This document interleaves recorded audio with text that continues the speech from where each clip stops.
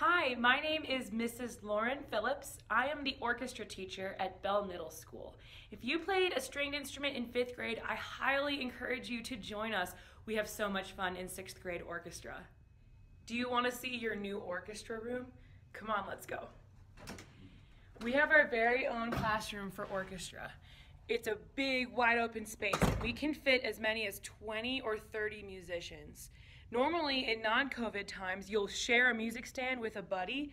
Two people will read off of the same music, and you'll you'll get to be uh, next to someone of the same instrument.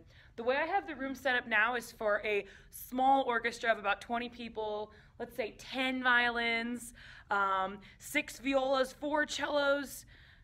Oh, and of course, some bass players are added in on there too. But usually, we'll have 20 or 30 musicians in here. I believe that after COVID's over, we will get to play together in this large space. If you're a bass player or a cello player, we've got you covered. You do not have to carry your instrument to school.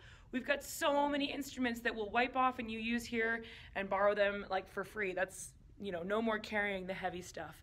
Um, usually, I play piano along with us. It'll sound so cool with so many people playing. It's a little messy over here because I'm sorting our sheet music. There are so many songs in those cabinets over there, a full library of options of cool songs we can play. Right now, the sixth graders are playing a song called Dragon Hunter, and it is so exciting. You're really gonna like it.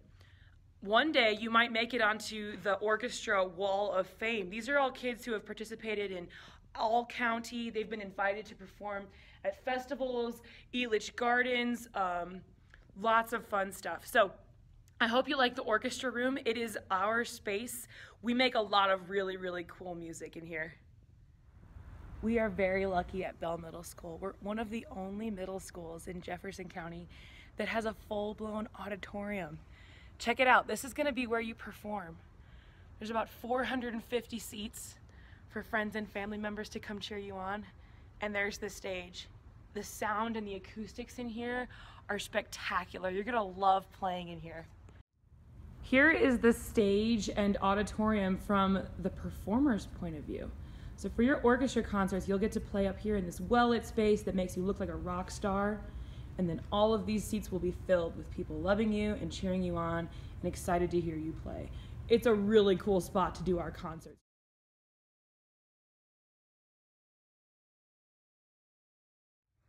Bell Middle School is known for its STEM program and its humanities program.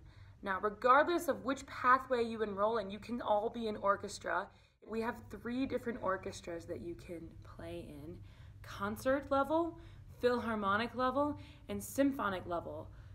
All three of the orchestras have their own class period. We meet for 55 minutes, an entire period, every day. So it's a very, very fun part of your middle school schedule. It really breaks up all the other classes.